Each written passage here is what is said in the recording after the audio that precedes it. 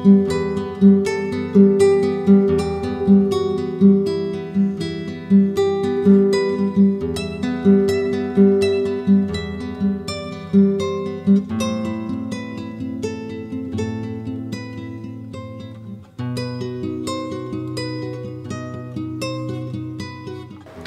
good morning, ladies and gentlemen, and welcome to my presentation on ancient Egypt.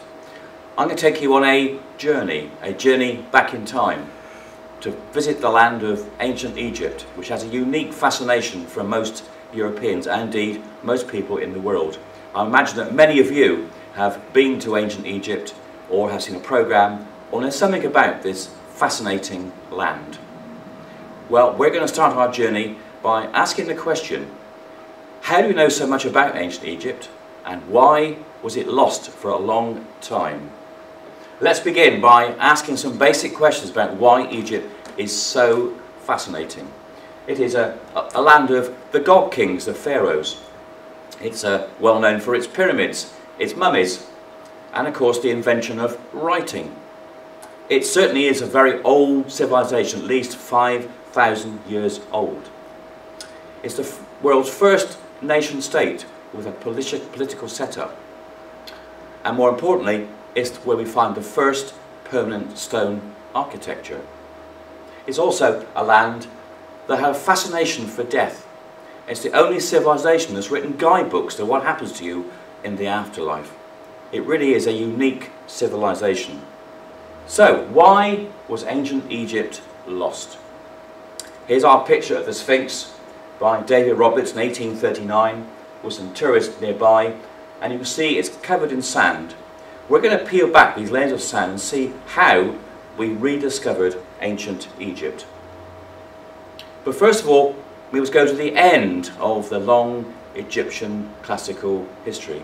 Here's a picture of what we think it was like at the end of the period in the Roman period when life was still going on. There were still people living in temples and seen this reconstruction that still looked fantastic in their size and grandeur and colour. We also know that Egypt was a place where tourists came to from all over the Roman Empire. And we know that because the top picture you see here shows a mosaic in Italy uh, put together by a very rich tourist to show all the things he saw, just like you would take photographs when you went along the Nile. We also know that uh, uh, uh, Egypt in the late period was inhabited by some Roman legions to protect it from marauding barbarians outside the borders.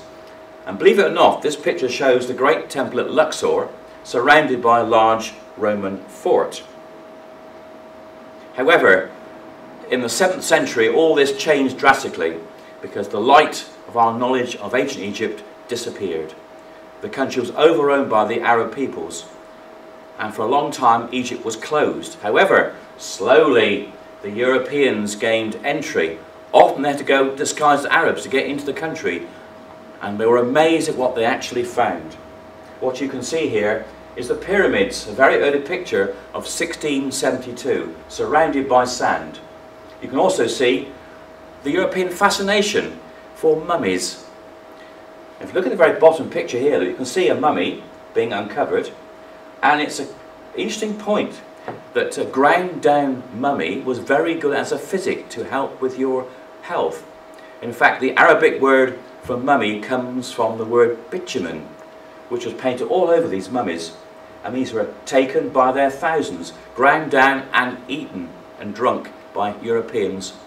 A strange way to find out how mummies actually were found.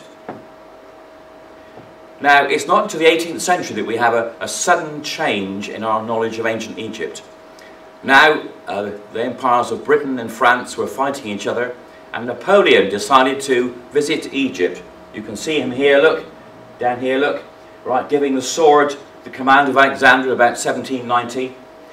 He didn't just bring his army, he brought with him a whole array of scholars who went around the country drawing, painting, taking notes of all these wonderful antiquities which were lying around very much uncared for. And you can see here on the bottom picture, there is surveying a great big hand of a colossal statue of some unknown pharaoh. Up here, they, they've stopped right, at Syene. And here, look, is the bottom of a, of a temple pillar, and they're looking at these strange writings, wondering, as they all did in Europe, what did they actually say? What was the key to understanding?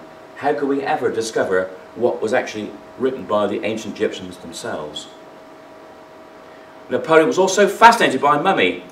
And here you can see him being shown a really nice mummy of a, of a royal. Look, he's got his arms crossed, so he certainly is a member of the royal family of ancient Egypt. And there's Napoleon, look, paying homage to this long-lost god king of ancient Egypt. Now the pyramids have always been there. You can't really disguise them. True, they were surrounded by sand. You can see the sand piling up. And long ago, um, Arabs had blasted their way with gunpowder trying to find untold riches, but at last they found very little inside the pyramids. But they were a great fascination to most Europeans. And if you paid your money, you could hire a torchbearer, you could be taken inside and climb up the great galleries. You can see going up here to view the empty room where the Pharaoh once laid in great splendour. Now it was also at this time that the British and the French would begin to collect. And these collections formed the basis of the British Museum right, and the Louvre Museum in Paris. And one very early collector was Henry Salt, who was the cons consort in Egypt from 1816 when he died in 1827. And he arranged for a rather strange man called Giovanni Belzoni. You see him here, look, dressed as an Arab. And here's his actual passport to come into the country, to come in and to go around and collect wonderful collections of antiquities, most of, most of which are now in the British Museum.